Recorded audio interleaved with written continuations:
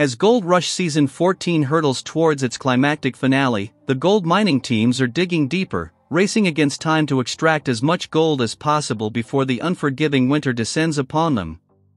In the midst of this high stakes rush for gold, one seasoned miner is making bold moves to salvage his season, none other than the legendary Tony Beets. In a season marked by challenges and setbacks, Tony Beets has unveiled his master plan to turn the tides in his favor.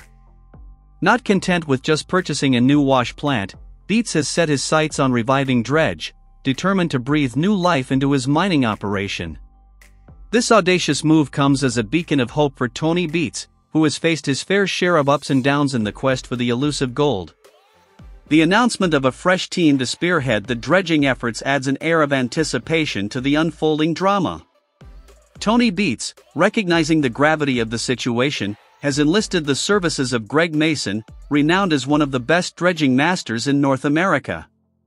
The hope is palpable among Gold Rush fans, eager to witness the resurrection of Dredge under the guidance of this expert team.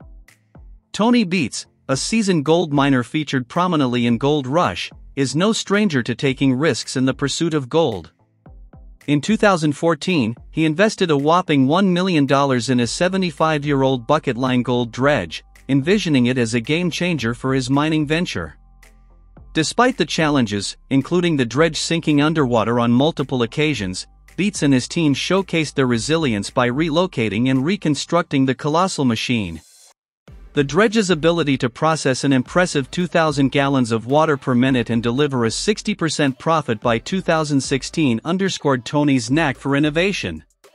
However, the journey was not without its tribulations, with the dredge encountering mishaps that tested the mettle of Beets' experienced crew. Sinking twice within six weeks and battling issues like fine sand clogging sluices, the dredge's path was fraught with challenges. The recent decision by Tony Beets to recommission Dredge comes with both excitement and caution. Earning 22.56 ounces immediately after its resurrection serves as a promising sign for the seasoned miner. Yet, it also serves as a reminder of the need for utmost care, as the dredge proved to be a double edged sword in the past. Now, as winter looms large, time becomes Tony's greatest adversary. With a less than ideal start to season 14, the pressure intensifies on Beets to maximize mining operations in the final stretch. Fortunately, his recent endeavors seem to be yielding positive results, hinting at a potential turnaround. In a move reminiscent of Parker Schnabel's strategic approach, Tony Beets is doubling down on operations. With two endeavors in full swing, including the reactivation of Dredge Number 1, Tony is signaling his determination to emerge victorious in the race against time and nature. As the Gold Rush drama unfolds, viewers can't help but cheer for Tony Beets and his team, hoping that this latest gamble will pay off and bring a glittering end to a challenging season. Tony Beets' decision to revive Dredge is not just a bold move, it's a calculated risk that showcases his unwavering determination and strategic mindset. In the high stakes world of gold mining, where every decision can make or break a season, Tony's willingness to resurrect a dredge with a history of challenges speaks volumes about his confidence and belief in its potential. The choice of Greg Mason, renowned as one of the best dredging masters in North America, to lead the new team is a strategic move.